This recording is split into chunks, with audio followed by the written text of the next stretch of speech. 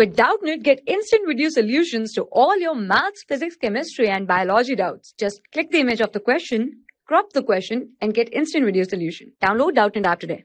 In this question, we have to consider a parallel beam of light of wavelength 600 nanometer and intensity 100 watt per meter square. Now we have to calculate the energy and linear momentum of each photon and also we have to calculate how many photons cross 1 centimeter square area perpendicular to the beam in 1 second. So we know that the energy E of photon is equal to hc over lambda where h is Planck's constant, c is the speed of light and lambda is the wavelength of the light. The Planck's constant is 4.14 into 10 to the power minus 15 electron volt second.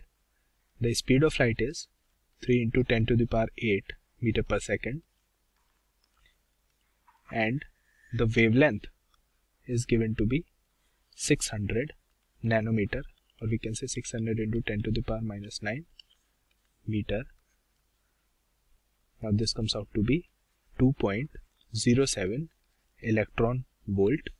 This is the energy of photon. Now we have to calculate the momentum of this photon. Let's say momentum is p. We know that the lambda wavelength is equal to h over p. Or we can say the momentum is h over lambda. Also e is equal to hc over lambda. So we can take lambda is equal to hc divided by e. Put it here.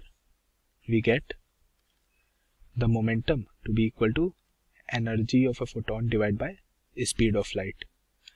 So energy of a photon here is 2.07 electron volt divided by speed is 3 into 10 to the power 8 so this comes out to be 0.69 into 10 to the power minus 8 electron volt second per meter.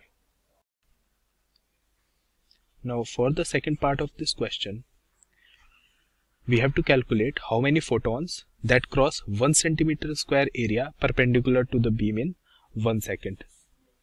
Now the intensity of this beam of light is 100 watt per meter square.